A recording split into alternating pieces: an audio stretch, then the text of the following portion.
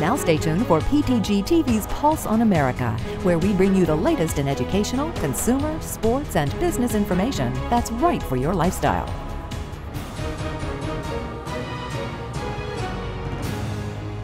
Welcome to today's Pulse on America. I'm Wayne Stavsky. One by one, America's big cities are experiencing a renaissance.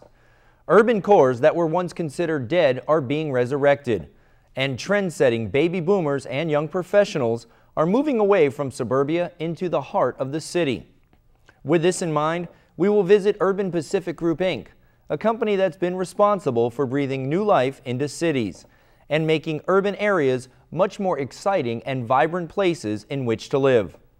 Founded in 1999, this California-based company specializes in the design, development, construction, and marketing of high-quality urban housing in California, Oregon, Colorado, and other markets.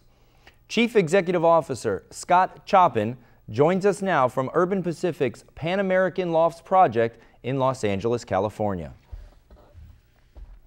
Thank you for joining us today. You're welcome. Thanks for having me on.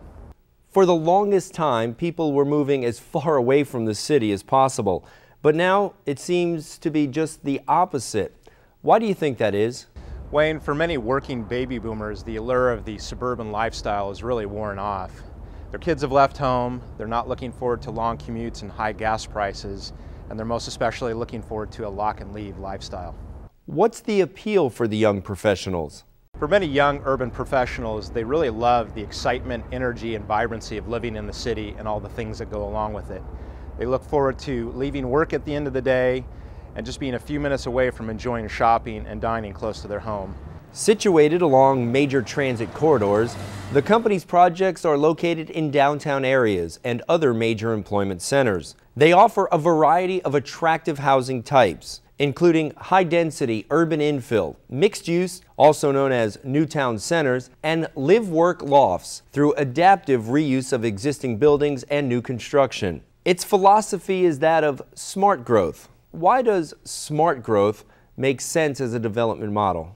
Wayne, smart growth makes sense as a development model in that it takes advantage of infill opportunities to provide housing in previously economically unviable areas. The other great thing about smart growth is it provides solutions to many of the issues that are associated with sprawl, long commutes, traffic, and pollution.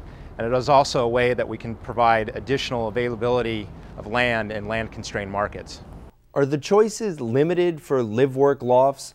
especially when they are created from existing structures? Not at all. In fact, the range of sizes and the open floor plans of the lofts that we provide gives the buyer the ability to reflect their personality within the design of the unit. The other great thing about these types of communities, it provides the ability to develop urban rooftop decks, which is a great urban amenity, and also gives us the ability to provide business centers and fitness centers within the community itself.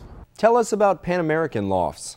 The Pan American Lofts is a 40-unit adaptive reuse community located in the historic core of downtown Los Angeles. This building, the second oldest in downtown Los Angeles, was built in 1895. Formerly used as offices, it is also one of the most historically significant buildings located in downtown. What is a new town center? A new town center is where we take a piece of property and develop a new downtown where one previously did not exist before, typically containing a mix of retail, residential, and access to transit. This type of community is one where we bring together the disparate components that make up a true downtown. Tell us about one of your new town centers. One of the new town center communities that we're most excited about is located in Westminster, Colorado, called Axis. This development contains 750 units of residential housing, 25,000 square feet of retail, and is adjacent to and built in conjunction with one of the new light rail lines located in the Denver metro area. Your projects are creating quite a buzz among urban planners. How do you think potential investors, partners, and housing officials see Urban Pacific? I think most folks see Urban Pacific as a company that excels in the development of mixed use and urban infill communities throughout the West. I think they see a young, growing, aggressive company with a pipeline over 4,500 units. And I think they also recognize us as a company that understands the buyer and renter mentality of an urban dweller. Scott, thank you for joining us today. It was my pleasure. For more information, log on to www.urbanpacific.com or call 562 590 5600.